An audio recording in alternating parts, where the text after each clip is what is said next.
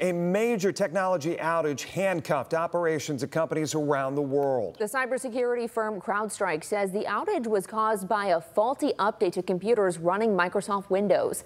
The outage hit Australia particularly hard. The outage has left airlines around the world without access to check-in and boarding services, resulting in thousands of canceled or delayed flights.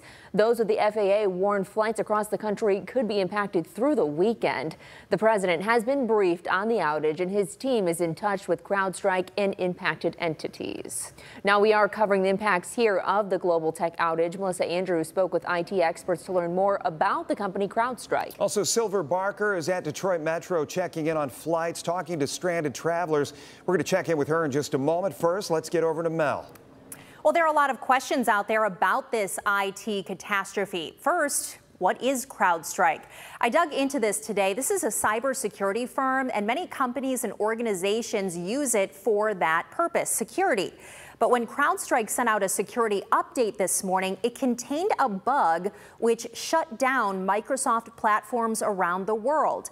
The company rolled back that update and released a new one. I talked to the chair of the BGSU Department of Computer Science today who told me that using any kind of technology comes with risks.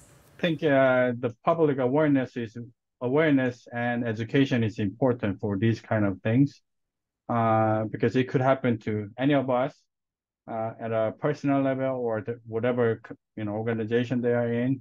It could happen very easily. Professor Kwan says the state offers cybersecurity programs for the public and says BGSU collaborated with the University of Toledo to educate senior citizens on cybersecurity. He also says more workers are needed in computer programming to make sure these problems can be prevented and fixed when they do happen. Jeff? It certainly has not been a great start to the weekend for many who are traveling. The global outage affected a number of airlines, causing delays and cancellations. Our Silver Barker, she joins us live from Detroit Metro. Silver, what do we know? Yeah, still issues running. I've spoken with a few travelers here, many stranded travelers actually in case, who have been turned away. They've had to go back home and find a new plan now. One even says they have an 18 hour drive. So definitely not a great start to the weekend. And actually speaking with a few travelers, listen to what they had to say. Let's see, where do we start? Frustrated. Yeah, we're um, everyone's frustrated and annoyed. They Wanting to go home. I, I want to go home. I just want to go home. I don't want to be here. I just really just want to go home. Is how many travelers are feeling they are stuck at airports due to CrowdStrike's global outage. The issue has caused a delay in flights and even a cancellation for some people, forcing them to have to change their travel plans. One traveler, Nina Boynoyan, says they are in line waiting for the next available flight for her and her family to get to Orlando.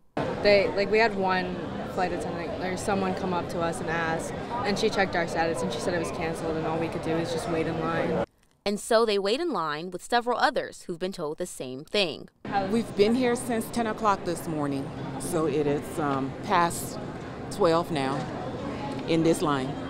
Some families have been told they may have to split up and find any seat that's available for where they are trying to get to. We'll have to figure out our situations. We have car lined up, we have Airbnb all lined up, so I think we'll have to, at that point, decide who's going to go on what flight and get there first.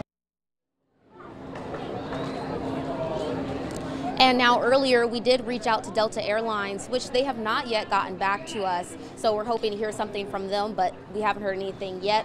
Reporting from Detroit Metro Airport, Silver Barker, WTOL 11 obviously still some lines behind her tonight, too. Some long lines. This is a developing story we are going to continue to cover. There's a full list of organizations and businesses impacted by the outage on our website, along with more information on the outage. We'll bring updates on air and online as they become available.